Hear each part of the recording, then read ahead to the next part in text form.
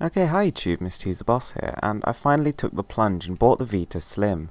So in this video I'm just going to talk about how it compares to the original Vita, and do I think you should upgrade to it, or buy it if you're coming straight into the Vita market.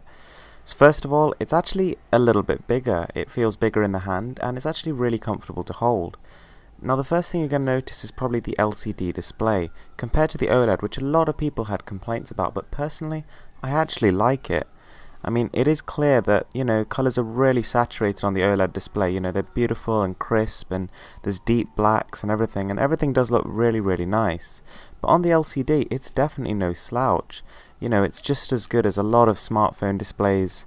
Maybe not quite in terms of resolution, but definitely colour reproduction.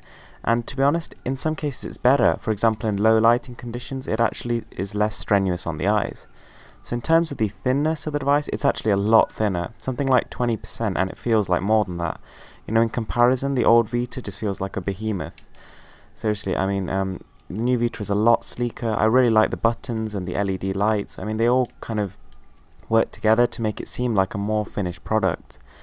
And uh, really, compared to the Vita Slim, the old PS Vita just seems like this sort of glass giant. The buttons as well, I actually say are better on the new Vita Slim. The D-pad especially is significant improvement. The analog stick is exactly the same, so you're not going to notice any difference there. Now one of my big complaints with the PS Vita is even without this skin, it was actually quite difficult to press the start and select buttons, they're a little bit too inside, whereas the Vita Slim, they have fixed that issue and the buttons are just a bit more prominent. The circle, triangle, square and X buttons are a little bit squishier as well, and they have a little bit more sort of give. So when we turn the PS Vita over, we can see that the two devices have differing sizes of the touchpad. The Vita Slims is much smaller. Now this is a good thing for two reasons. Firstly, it means that you don't accidentally press it as much.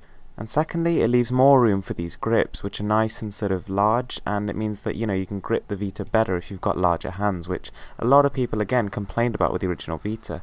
The finish is also a bit nicer and is a matte rather than the glossy finish that we had before. It's also worth noting that the new Vita now accepts micro USB, which means you can charge it with your phone cable, so it's just one less thing that you have to carry around when you take it places. As if that wasn't already enough, the PS Vita Slim has two more major benefits. The first is an extra gigabyte of free internal storage, and that's good for save files as well as a few games.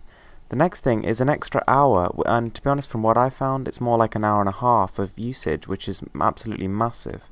So honestly, I actually think you should upgrade to the Vita Slim even if you already have the old Vita, if you play it a lot. If you're buying a new Vita, then you should definitely get the Vita Slim, do not go for the old one now. Thank you for watching guys, I hope you liked this video, if you did please give it a thumbs up and subscribe for more.